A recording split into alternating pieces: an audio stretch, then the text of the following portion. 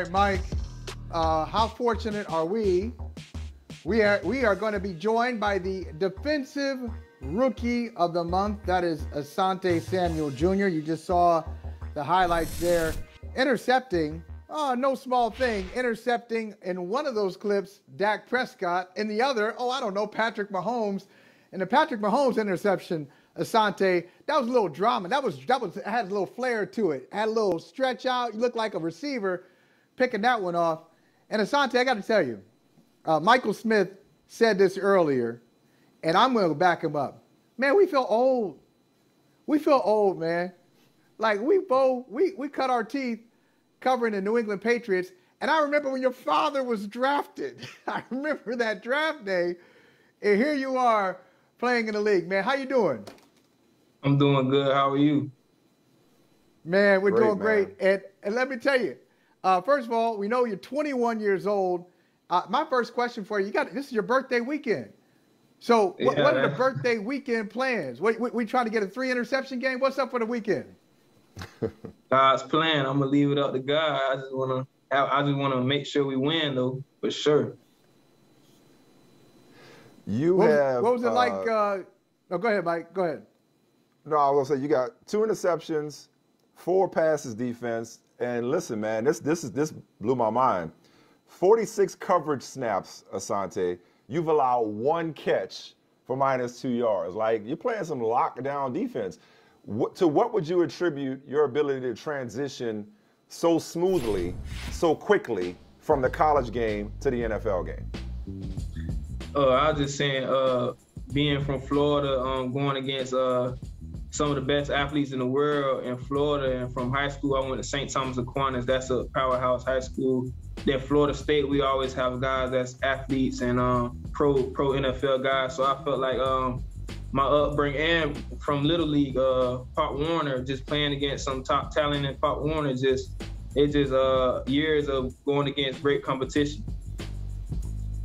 Well, that, that leads me right into my next question because I imagine seeing Mike mentioned you picking off Dak Prescott and Patrick Mahomes. I imagine seeing him on Sundays is not that difficult given that you lining up across from Keenan Allen and Mike Williams and Justin Herbert slinging that thing every day in practice. How has practicing against your offense made you better?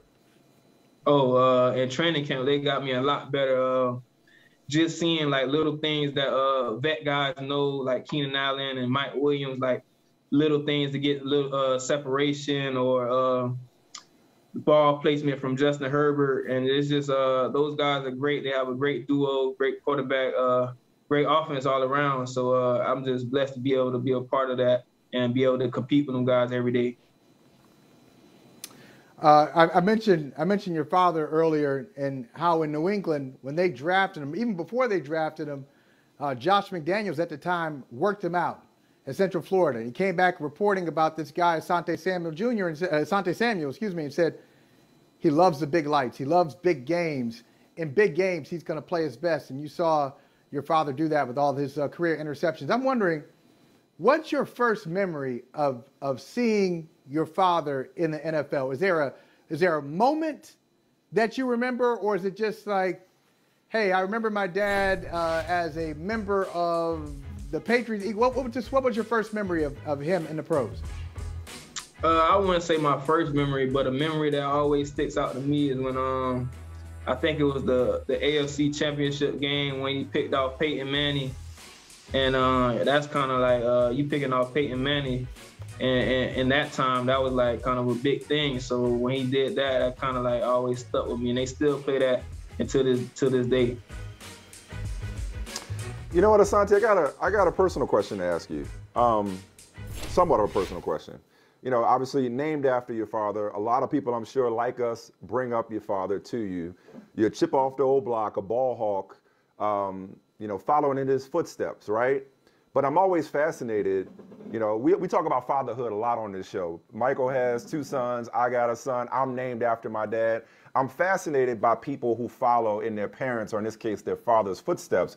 Can you can you talk about, explain to us what that's like to kind of balance that privilege with that pressure, uh, but also like just trying to be your own person and not wanting just to be Asante Samuel Jr., but to be your own player, your own man, your own person? Like, what is that balance like for you?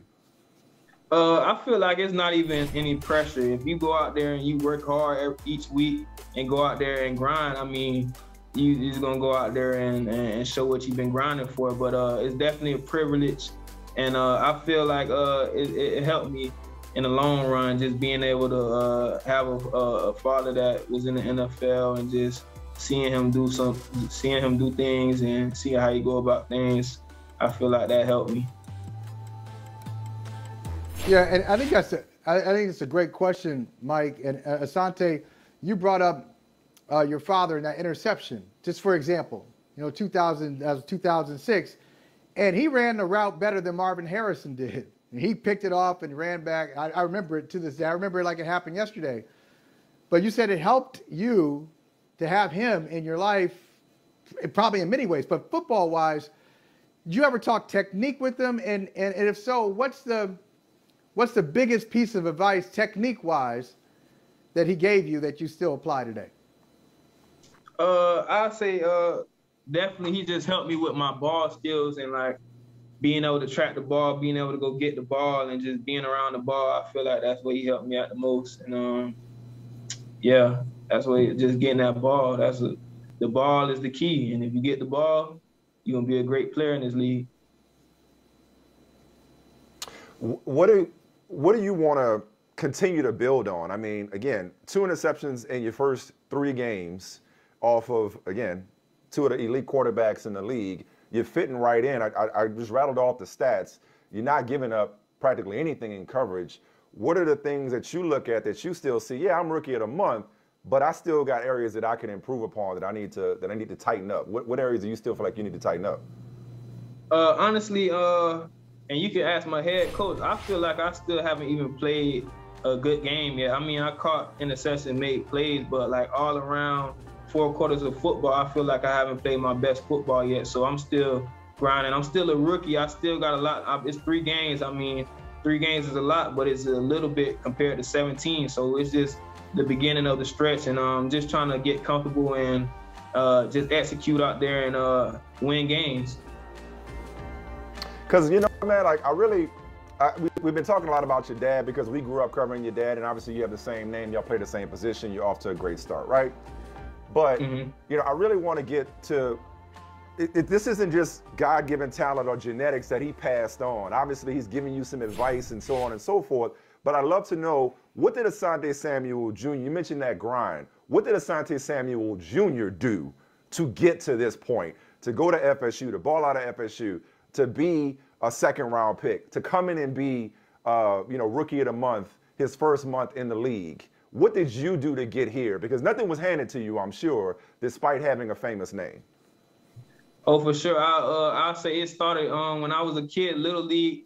I've been had the name of Sante Samuel, so uh, when I'm out there, they kind of like gunning for me. I got a, a target on my back because uh, obviously my, my dad was in the NFL, so they trying to make a name there. So and, and make plays off me. So uh, I always had to bring my A game, and uh, it just always was a competition. I always wanted to come out on top, regardless of the situation. So uh, yeah, it, has been a long. This didn't happen overnight. This happened many years of training, many years of grinding, many years of mental focus, and um, being able to just push through everything, all the adversity, and just and just uh, I'm just blessed to be here. So uh, I couldn't have done it without my family, my uh, everybody that helped me get here and my coaches, everybody. So it, it wasn't um, just me.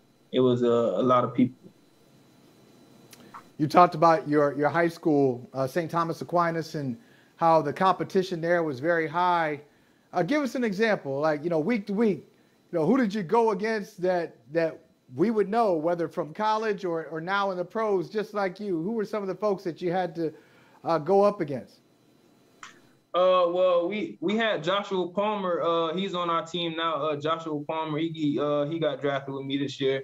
Uh, he was a receiver out there. We had a, a guy named Sam Bruce. He was like the number one receiver in the country at the time. We had a guy named Trevon Grimes. We had a guy. He was a five star at the time. We had a guy named uh, Michael Harley. He's at Miami right now. We had a lot of guys that were elite talent that went D1. I think everybody in the receiver room went D1 uh, from St. Thomas. So uh, just going up, just showing up to practice, you're gonna get better. So all you gotta do is show up the same time. Yeah, and so now, I mean, you've you've been used to that, as you said, high school, uh, best of the best. Obviously, Florida State, the tradition there is rich, especially at, the, at your position. I mean, one of the greatest ever, prime time. But now, when you look at T-ball. the pros, yeah. what is it? Terrell Buckley, top five pick there too. Um, when you when you get to the pros and you are going against these elite players, what what stands out to you? Is there is there something that maybe surprised you, whether it was your first preseason game or first game, speed, route running, anything jump out at you and say, oh, wait a minute, this is a little different. I got to adjust to this? I'll definitely say like the timing of the quarterbacks and uh it's like uh, as soon as the receiver getting out the break, it's like the, the, the football is already hitting the receiver's chest. So you can't really have too many false steps and you can't you can't have any false steps if you want to make a play on the ball in this league. So uh, you just got to make sure you know what's going on, know your call, know have the right leverage, make sure you're doing all the little things because the little things are miles in the NFL. Last thing we got for you, man, is this. Uh, there's a lot of excitement about your team, especially you know, after that win last week and the four takeaways y'all had against the Chiefs. You got an exciting young quarterback, the offensive might have the offensive rookie of the year last year. You on your way to being defensive rookie of the year this year. But what's the mood around the team, and and what did that win against Kansas City, uh, in Kansas City, what did that mean for you guys in, in terms of y'all confidence and just the energy and excitement internally? Because there's a lot of excitement now about the Chargers on the outside. Oh, internally, it was good. It was a nice win. It was definitely a, a division win, so we we appreciated that win. But we came in that week knowing we was going to win, and it, it, it didn't surprise anybody in the locker room after we won. So it was kind of like uh, we just we just holding ourselves to a higher standard from before. So like we feel like we should dominate. Everything is about the Chargers. We play different teams, but everything at the end of the day is about the Chargers, and we got to make sure the main thing is the main thing and uh, do what we do best and uh, just go out there and execute and compete. That's all you can do out here. Well, man, you're playing like you belong the, uh, at this level. You're talking like you belong at this level. It's, it's obvious that you were built for this. Can't wait to see what y'all do against the Raiders, man. It's gonna be a hell of a game. Chargers Raiders this weekend. And uh, happy birthday, 22. Oh, we wouldn't give give to be 22 again. Uh, you know, so hey, congratulations, man, on, on being defensive rookie of the month.